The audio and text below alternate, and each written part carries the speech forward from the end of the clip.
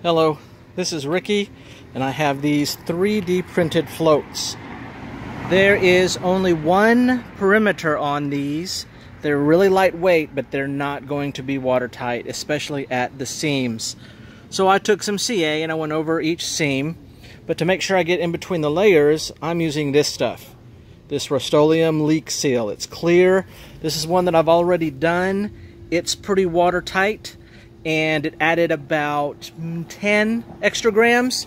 So all I do is shake it up and just make some real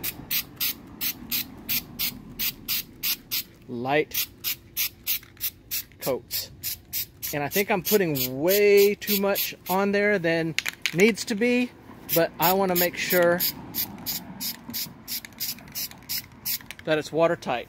So if you look at it, it looks pretty smooth. It's not that bubbly. Um, you can still see the internal structure, especially when it dries a little better. Um, but I think this is going to waterproof these really well.